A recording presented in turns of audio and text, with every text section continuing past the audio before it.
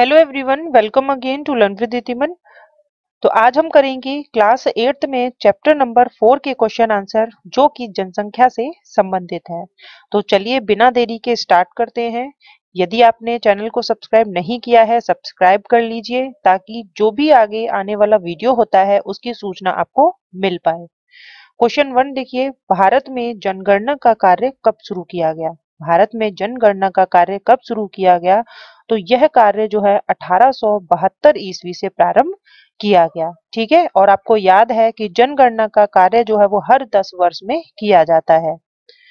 फिर देखें, question number two, सन 2011 की जनगणना के अनुसार राजस्थान की कुल जनसंख्या कितनी है? सन 2011 की जनगणना के अनुसार राजस्थान की कुल जनसंख्या कितनी थी? तो देखिए, आंसर है छह दशमलव आठ पाँच करोड़।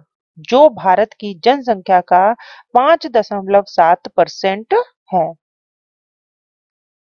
जनसंख्या परिवर्तन किसे कहते हैं? जनसंख्या परिवर्तन किसे कहते हैं?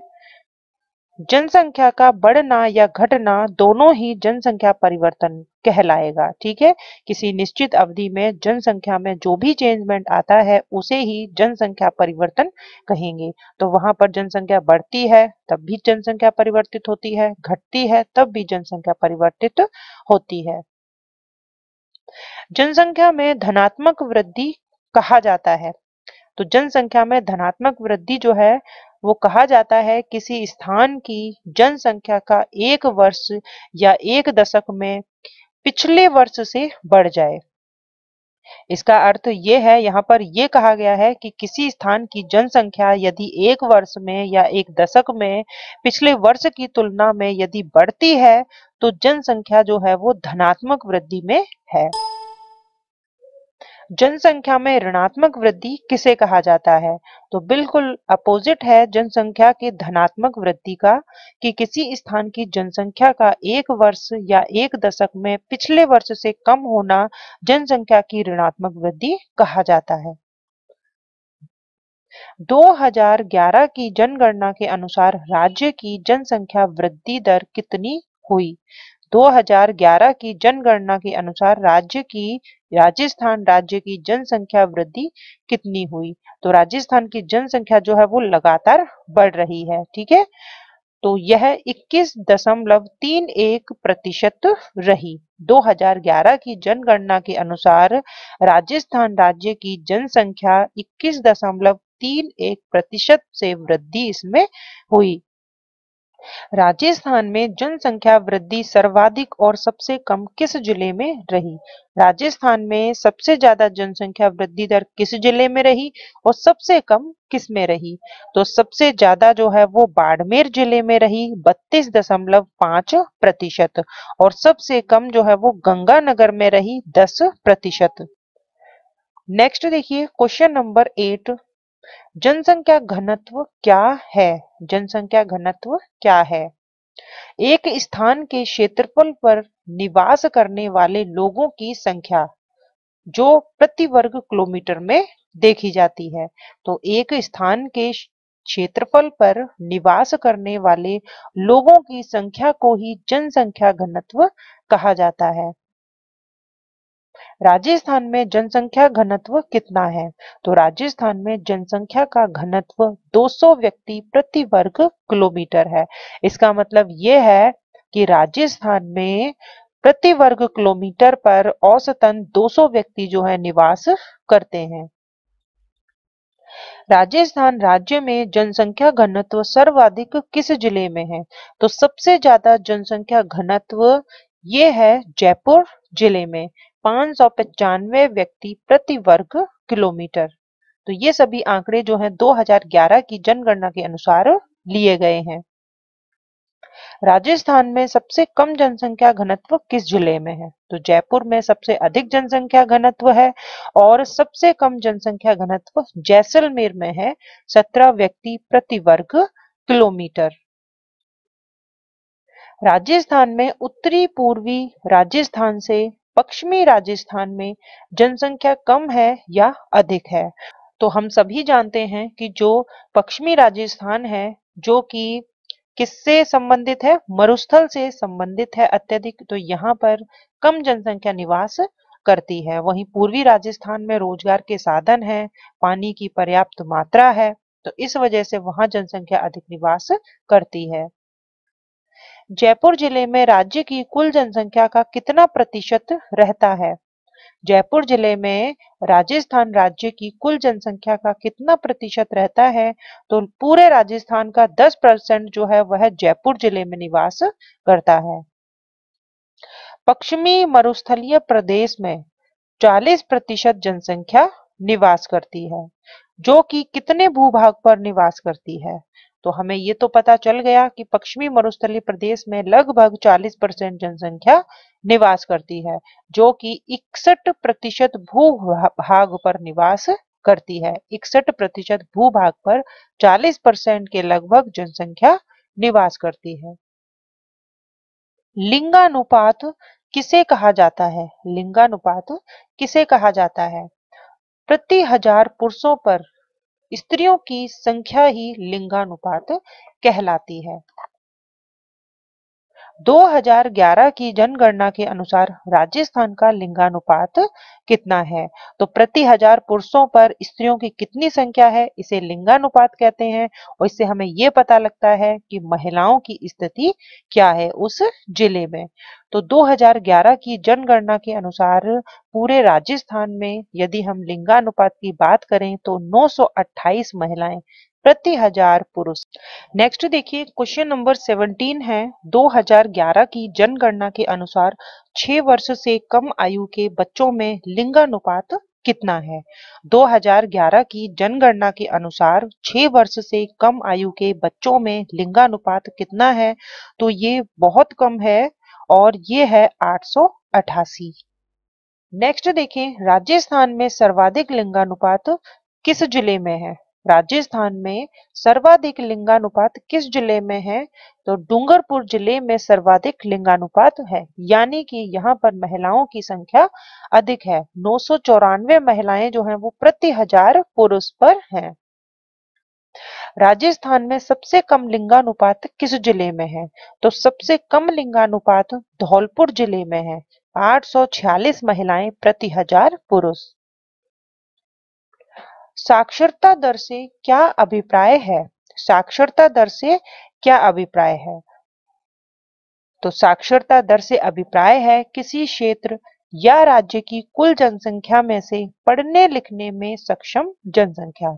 जो पढ़े लिखे हैं तो उसी दर से हम पता लगाते हैं साक्षरता दर का। 2011 की जनगणना के अनुसार राज्य की कुल साक्षरता कितनी प्रतिशत है? 2011 की जनगणना के अनुसार राज्य की कुल साक्षरता कितनी प्रतिशत है? तो यह छियासठ दशमलव एक एक प्रतिशत है, ठीक है? ये एग्ज़ाम में आया हुआ क्वेश्चन है कि 2011 की जनगणना के अनुसार राज्य की कुल साक्षरता दर कितनी है? छियासठ दशमलव एक एक प्रतिशत। राजस्थान में सर्वाधिक साक्षरता वाला जिला कौन सा है? राजस्थान में सर्वाधिक साक्षरता वाला जिला कौन सा है? तो वह जिला है कोटा जिला।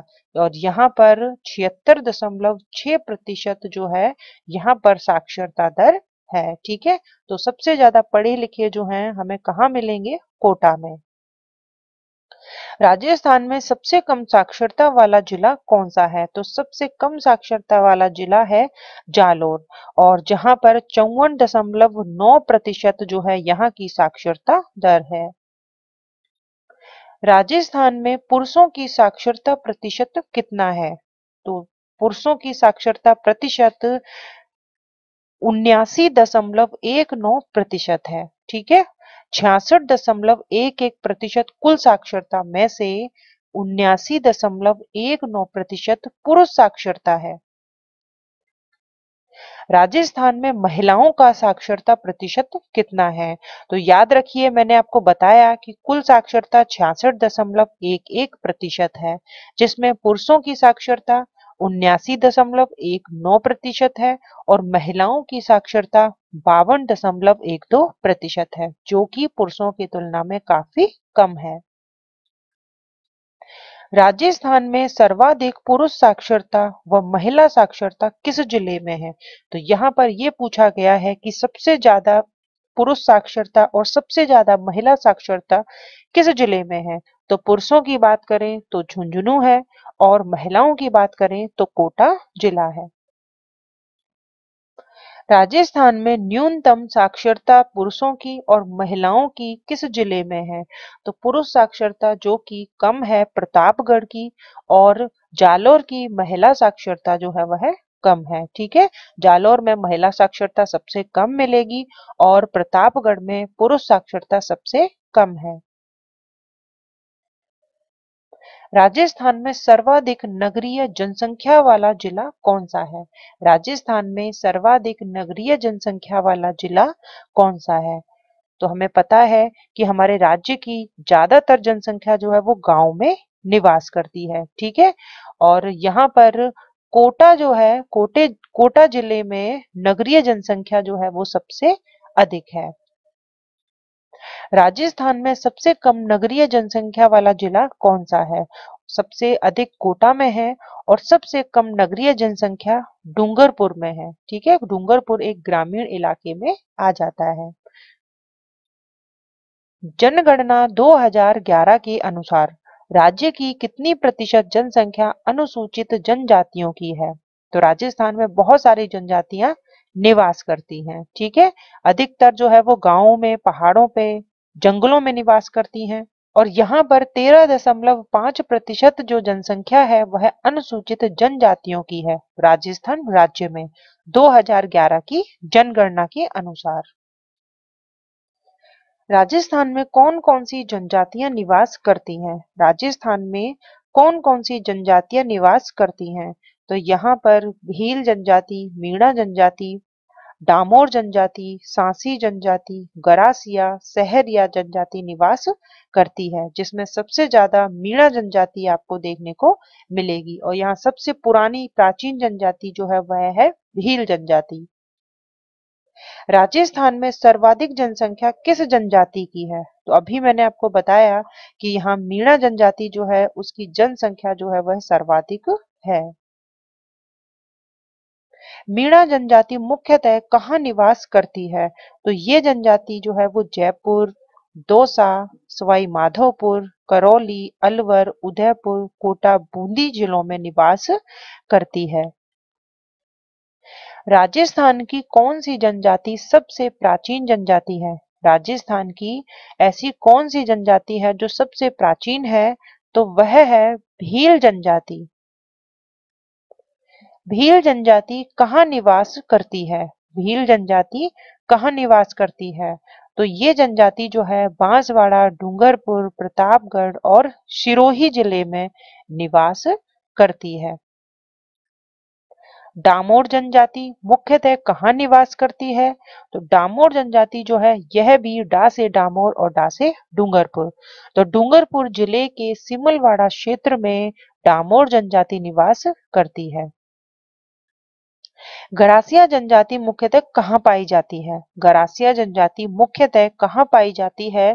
तो ये जनजाति जो है, वो सिरोही ज़िले की आबू रोड एवं पिंडवाड़ा तहसील में पाई जाती है। ठीक है? यहाँ ये निवास करती है।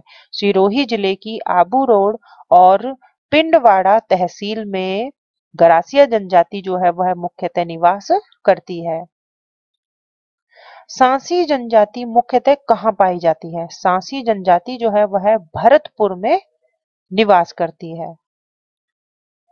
किस जनजाति को भारत सरकार ने आदिम जनजाति समूह की सूची में शामिल किया है?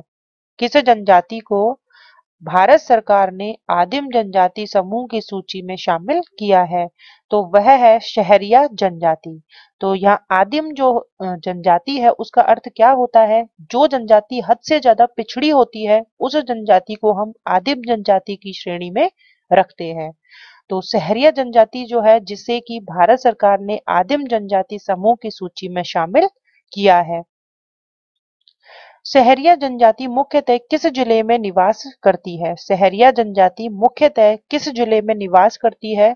तो यह बारह ज़िले के शाहबाद और किशनगंज तहसील में सबसे ज़्यादा सहरिया जनजाति मिलेगी। तो ये चैप्टर जो है, यहाँ पर कंप्लीट होता है। इस चैप्टर में से 40 क्वेश्चन जो है, वह निकल कर आए हैं और क्वेश्चन जो है, आपके एग्ज़ाम में 100 परसेंट यहाँ से आएगा। ठीक है? जनसंख्या घनत्व के बारे में पूछा जा सकता है। कहाँ जनसंख्या घनत्व अधिक है, कहाँ कम है? इसी तरीके से कौन सी जनजाति जो है, किस क्षेत्र में निवास करती है, साक्षरता दर के बारे में भी पूछा जा सकता है। तो आप इसे बहुत अच्छे से याद रखिएगा। बार बार इन क्वेश्चन को पढ़िएगा वीडियो बार बार देखिएगा, तभी आपको ये चीज़ें याद होंगी। मिलेंगे नेक्स्ट वीडियो में चैप्टर फाइव के क्वेश्चन आंसर के साथ। Thank you